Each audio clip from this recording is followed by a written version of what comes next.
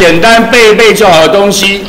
就是一些常见的元素燃烧的结果。第一个是重要的是镁带，因为镁带燃烧有一个特别的现象，什么现象？它会产生强烈的白光，这我们烧过，对不对？那么镁带燃烧会产生的是氧化镁，氧化镁溶于水会成氢氧化镁。你已经学过了酸碱了，你就知道那个氢氧化叉叉又成什么性？成了叫做碱性。所以呢，镁加氧会产生氧化镁，氧化镁在水中会形成氢氧化镁，氢氧化镁呈现的叫做碱性。重点，白色的强光。接下来是钠，钠燃烧会有黄色的火焰，这个考的人不多，然后产生是氧化钠一样溶于水是氢氧化钠，金属氧化物溶于水成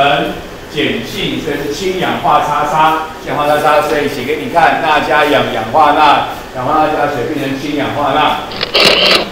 硫燃烧，我们从古时候联考年代开始，一直到机测年代、学测年代。我们都很喜欢考硫的燃烧，我也不知道为什么，就给我背好。硫燃烧的火焰是有蓝紫色、蓝色、蓝紫色的火焰，然后烧出来的东西是有一个二氧化硫，二氧化硫是有味道的，有人说叫刺激性的臭味，有人说叫臭鸡蛋的味道，反正就是有一股臭臭的味道，一股臭的味道，二氧化硫。二氧化硫溶于水会形成亚硫酸，亚硫酸为了会告诉你这玩意儿会跟酸雨有关系，会跟酸有关系，所以就看一下硫加氧形成二氧化硫，二氧化硫变亚硫酸，看一下亚硫酸的化学式 H2SO3，SO3 就是亚硫酸，请把硫燃烧的火焰颜色背好，请记住它会产生一个有臭味的东西，叫做二氧化硫。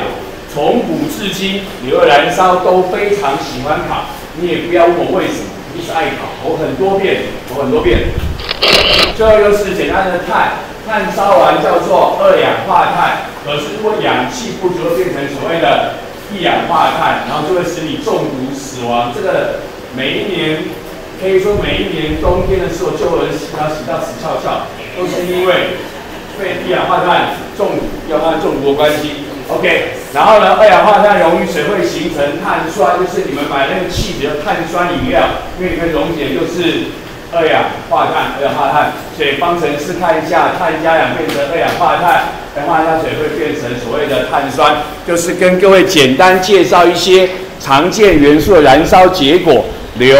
非常喜欢烤，镁有一个特别现象，有白色的强光，然后碳溶于水会形成。碳酸，请把这些事情都给我背清楚。